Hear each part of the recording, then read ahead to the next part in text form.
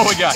Well, uh, you know, you got your money's worth out of the out of game. How did it go? You know, they, they probably had an advantage being on turf a little bit more than y'all did. I, I think that might have played a little bit into it. Um, Going it was- in, yeah. Yeah, definitely going in. Uh, I think it was a really physical game.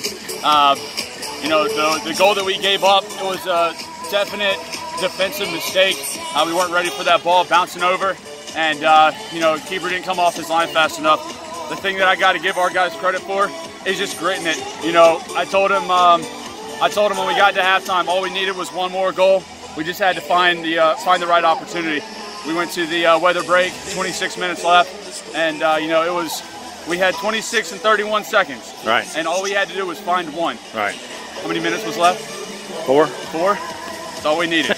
we got to that second uh, that second opportunity in the uh, the overtime period, and uh, Dylan just he hawked the ball and just buried it.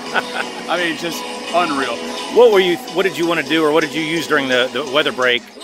To, to talk about anything, to change anything, to consider anything? What did you do? We um, we did change our formation. Um, you know, we we adjusted who we had in uh, in certain spots. And I actually I can't remember if it was at halftime or if it was uh, going into uh, the weather break. But what we uh, what we changed was a uh, four-five-one to a three-five-two.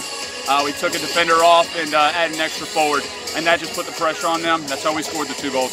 Did you kind of figure that that was going to be the way it would work out, Yeah, just like you drew it up? Except you didn't want to go to overtime. definitely didn't want to go overtime. I you can't draw us up any better. Right. That was one heck of a ball game.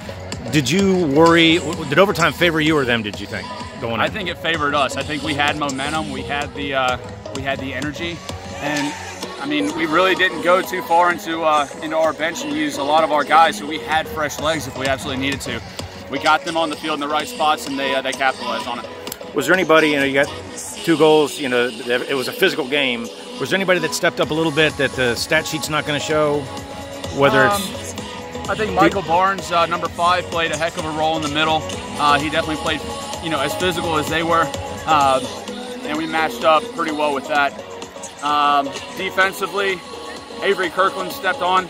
He's one of our freshmen, and um, you know he played really great minutes there in the second half. Eden Kaninjing, number 21, we moved him from that left back to the right wing, and he just created, you know, a lot of uh, a lot of good opportunities.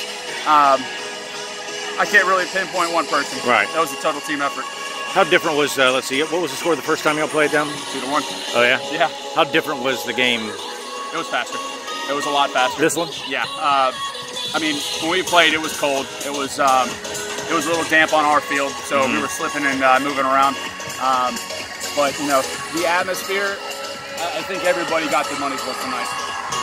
How well did y'all play? Or was this a gutted out This was a kind of out game? This wasn't the best soccer you played, but it was the Not, the clutchest. not- yeah, not by uh, not by any means, but you know, our guys do what they needed to do, and they came out with it.